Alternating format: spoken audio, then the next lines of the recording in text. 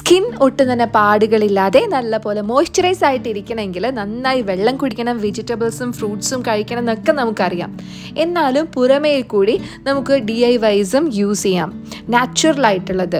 അതും കൂടി ഉള്ളപ്പോഴാണ് നല്ല പോലെ സ്കിൻ ഒന്ന് റെഡി ആയിട്ട് വരുള്ളൂ. അപ്പോൾ പുറത്തുകൂടി നമ്മൾ എങ്ങനെയാണ് മോയ്സ്ചറൈസ് ചെയ്യുന്നതെന്നാണ് ഇന്ന് നോക്കുന്നത്. ഒരു അടിപൊളി ഫേസ് പാക്കാണ് കുറച്ച് ഇൻഗ്രീഡിയൻസ് മാത്രം മതി. ഒരു ഒരു ദിവസം വീക്കിൽ വീക്കെൻഡിൽ നമുക്ക് ചെയ്യാം. നൈറ്റ് ടൈമിൽ വേണം ഈ ഫേസ് പാക്ക് അപ്ലൈ ചെയ്യാനായിട്ട്. ഏതൊരു ഫേസ് പാക്ക് ആണെങ്കിലും നൈറ്റ് അപ്ലൈ ചെയ്യുന്നതാണ് നല്ലത്. അപ്പം നമുക്കിതെങ്ങനെ ഉണ്ടാക്കുന്നത് നോക്കാം. ഞാൻ ആദ്യം തന്നെ അലോവേര ജെൽ എടുത്തിട്ടുണ്ട്. അപ്പോൾ ഹിമാലയയുടെ അലോവേര ജെല്ലാണ് എടുത്തിട്ടുള്ളത്. നാച്ചുറൽ ആയിട്ടുള്ള അലോവേര കിട്ടുവാണെങ്കിൽ അത് യൂസ് ചെയ്യാം. അപ്പോൾ നിങ്ങൾക്ക് ഇതിലും നല്ല ഏതെങ്കിലും ബ്രാൻഡ് അറിയുന്നുണ്ടെങ്കിൽ ഒന്ന് സജസ്റ്റ് ചെയ്യുക അപ്പോൾ ഇതിൽ നിന്ന് ഒരു ടേബിൾ സ്പൂൺ ഞാനിതിലേക്ക് എടുത്തിട്ടുണ്ട്. അലോവേരയുടെ ഗുണങ്ങൾ നമുക്കെല്ലാം അറിയാം. നന്നായിട്ട് സ്കിൻ മോയ്സ്ചറൈസ് ചെയ്യാനായിട്ട് ഹെൽപ്പ് ചെയ്യുന്ന ഒന്നാണ് ആന്റി ബാക്ടീരിയൽ പ്രോപ്പർട്ടീസ് ഉണ്ട്. അപ്പോൾ നമുക്ക് ഇത് ഒരു ടേബിൾ സ്പൂൺ എടുക്കാം. അതുപോലെ ടാൻ റിമൂവ് ആവാനും ഇത് വളരെ നല്ലതാണ് കേട്ടോ നന്നായിട്ട് സ്കിന്ന് നല്ല മോയ്സ്ചറൈസ്ഡ് ആയിട്ട് ഇൻസ്റ്റന്റ് ആയിട്ട് തന്നെ വരും ഈ ഒരു അലോവേര ജെല്ല് അപ്ലൈ ചെയ്യുമ്പോൾ. അപ്പോൾ അതിന്റെ കൂടെ തന്നെ നമുക്ക് ഒരു അര ടേബിൾ സ്പൂണോളം ഹണി കൂടി ചേർത്ത് കൊടുക്കാം. ഹണി ആണെങ്കിൽ ആന്റി ഫംഗൽ പ്രോപ്പർട്ടീസ് ഉണ്ട്.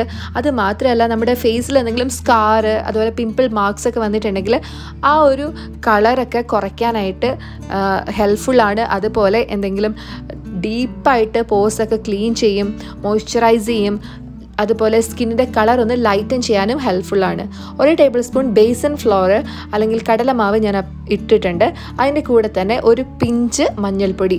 വീട്ടിൽ പൊടിച്ച മഞ്ഞൾപ്പൊടി ആണെങ്കിൽ ചേർക്കാം. അല്ലെങ്കിൽ കടയിൽ നിന്ന് വാങ്ങുന്ന കസ്തൂരി മഞ്ഞളോ പച്ച മഞ്ഞളുടെ പൊടിയോ എടുക്കാം. അല്ലാതെ കറിക്ക് വേണ്ടിയിട്ട് പാക്കറ്റിൽ കിട്ടുന്നത് എടുക്കരുത്. അതിൽ കുർക്കുമിൻ കണ്ടന്റ് വളരെ കുറവാണ്. അതുകൂടാതെ മഞ്ഞൾ ക മഞ്ഞളിന്റെ കളർ വരാൻ വേണ്ടിയിട്ട് മഞ്ഞ കളറുള്ള പൗഡേഴ്സ് കെമിക്കൽസ് ചേർക്കാറുണ്ട്. സോ ഇത് സ്കിന്നിന് നല്ലതല്ല. ഇത് നന്നായിട്ട് ഇതൊന്ന് മിക്സ് ചെയ്യാം. ബേസൻ ഫ്ലോർ ആണെങ്കിലും നമ്മളിതിൽ ഒരു ബൈൻഡിങ് ഏജന്റ് ആയിട്ടാണ് യൂസ് ചെയ്തിട്ടുള്ളത് എങ്കിലും ഇത് വളരെ നല്ലതായിട്ട് ഓയിൽ ഓയിൽ ഈ ഒരു സ്കിന്നിൽ നിന്ന് റിമൂവ് ചെയ്യാൻ നല്ലതാണ്. അതുപോലെ തന്നെ സ്കിന്നിൽ വരുന്ന ഇഷ്യൂസ് എല്ലാം മാറ്റും. നന്നായിട്ട് സ്കിന്നിനെ മോയ്സ്ചറൈസ് ചെയ്ത് വയ്ക്കാനായിട്ട് ബേസൻ ഫ്ലോറും ഹെൽപ്ഫുള്ളാണ് അത് മാത്രമല്ല സ്കിന്നിലെ ഡാർക്ക് സർക്കിൾസ് ഒക്കെ നന്നായിട്ട് റിമൂവ് ചെയ്യാൻ ഇതിൽ ചേർത്തിട്ടുള്ള ഓരോ ഇൻഗ്രീഡിയന്റും നല്ലതാണ്. ബേസൻ ഫ്ലോറ് പിന്നെ ചേർക്കുമ്പോൾ നല്ലൊരു ക്രീമായിട്ട് നമുക്ക് കിട്ടും. ഇതേപോലൊരു കൺസിസ്റ്റൻസിയിൽ ഒട്ടും ലംസ് ഇല്ലാതെ കിട്ടും. പയറുപൊടിയൊക്കെ ആണെങ്കിൽ ചിലപ്പോൾ ലംസ് വരാൻ ചാൻസ് ഉണ്ട്. അപ്പോൾ ഇതാണ് ഏറ്റവും നല്ലത്. അപ്പോൾ ഇങ്ങനെ ഈ ഒരു മിക്സ്ചർ ഇവിടെ കിട്ടിയിട്ടുണ്ട്. ഇനി ഇതെങ്ങനെ അപ്ലൈ ചെയ്യേണ്ടതെന്ന് വെച്ച് കഴിഞ്ഞാൽ ഫേസ് നല്ല പോലെ ഡീപ്പായിട്ട് ക്ലെൻസ് ചെയ്യാം. അതിനുശേഷം നമുക്കിത് ഫേസിൽ അപ്ലൈ ചെയ്യാം. അപ്ലൈ ചെയ്യുമ്പോൾ കണ്ണിന്റെ താഴെയുള്ള സ്കിൻ വളരെ ഡെലിക്കേറ്റ് ആയിട്ടുള്ള നല്ല ബേബി സ്കിന്നാണ് സോ അവിടെ അപ്ലൈ ചെയ്യേണ്ട. പെട്ടെന്ന് ചുളിവ് വരാൻ ചാൻസ് ഉണ്ട്. അപ്പോൾ കണ്ണിന്റെ ചുറ്റുമുള്ള ഭാഗം ഒഴിവാക്കി ബാക്കി എല്ലാ ഭാഗത്തും അപ്ലൈ ചെയ്ത് കൊടുക്കാം. കഴുത്തിലും കയ്യിലും കാലിലും ഒക്കെ അപ്ലൈ ചെയ്ത് കൊടുക്കാം. ടാൻ വരുന്ന എല്ലാ ഭാഗത്തും അപ്ലൈ ചെയ്യാം ഫേസിൽ മാത്രമായിട്ട് അപ്ലൈ ചെയ്യരുത്. ഏതൊരു പാക്കാണെങ്കിലും ലൈറ്റ് അടിക്കുന്ന സൺ ബേൺ വരുന്ന ഭാഗത്തൊക്കെ നമ്മൾ അപ്ലൈ ചെയ്ത് കൊടുക്കണം. എന്നിട്ട് സംസാരിക്കാനൊന്നും പാടില്ല. കാരണം ഫേസിൽ ചുളിവ് വീഴാൻ ചാൻസ് ഉണ്ട്. ഇത് പാക്ക് അപ്ലൈ ചെയ്യുമ്പോൾ സംസാരിക്കുക സംസാരിക്കുവാണെങ്കിൽ.